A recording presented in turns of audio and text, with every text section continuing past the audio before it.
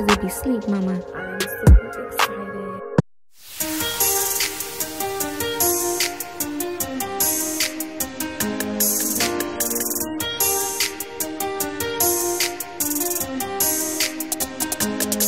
Good morning.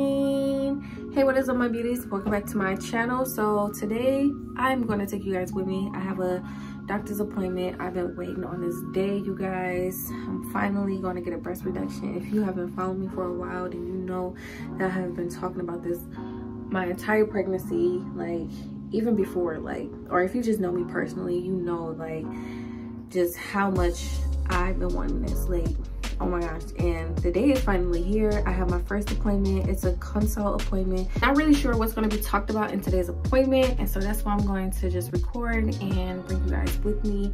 Like this is a big moment for me. Like i'm super excited. So before we actually get into this video make sure you guys go ahead and like comment and subscribe to my channel. And do not forget to hit that post notification bell. And i'm actually running a little bit late so i'm gonna just see you guys when we get there. Let's go ahead and get into it all right you guys so i am in the room right now.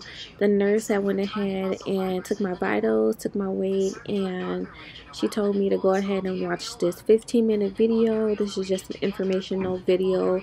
This video pretty much is explaining like the different cuts and um, surgeries that can happen and just showing me the different options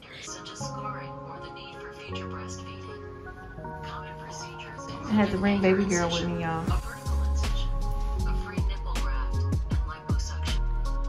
Now I'm feeding you guys. I'm still watching the video.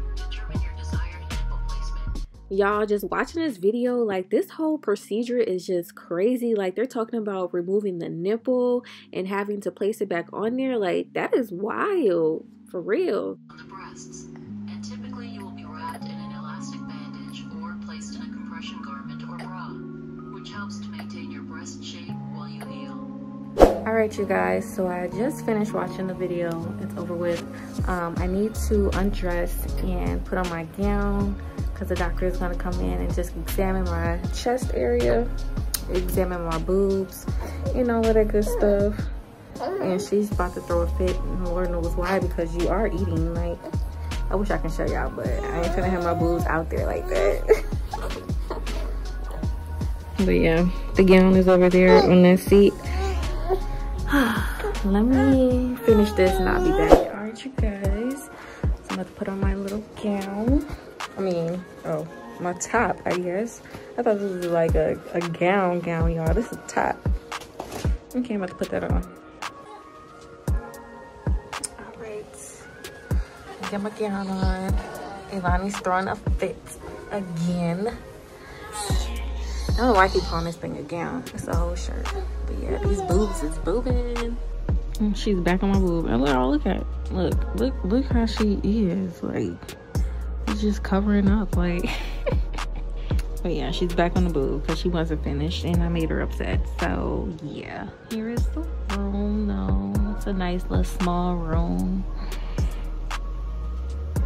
Just waiting on the doctor. All right, y'all. So it's been like 15 minutes and she won't let up. She done now. I'm about to go ahead and um, put her back in her little car seat. And the doctor should be in here soon. The nurse had came in here a little bit ago just to check on me, see what I was doing. She saw that I was breastfeeding. So they're gonna be here in a little bit.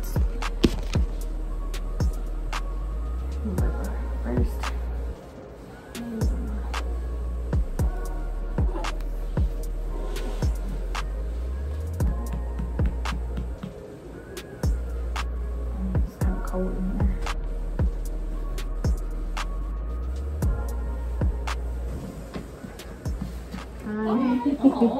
All right.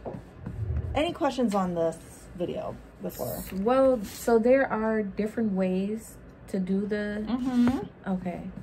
Um. Yes and no. It all involves surgery and a scar. Uh, some of the things are very similar. The technique may vary a little bit, but um, I don't know that most people would notice a big difference based on technique. Okay. So I guess what is there a reason you're concerned about the different ways, or was there a preference? So if I, because I know when know, Joe, yeah, Okay, yeah. When she was asking me questions, um, she asked if I plan on having children. So like, if I, I told her no because I just But don't know. you never but know. You never know. right. So like for the future, if I was to get pregnant and have a child and planned on like breastfeeding, is there?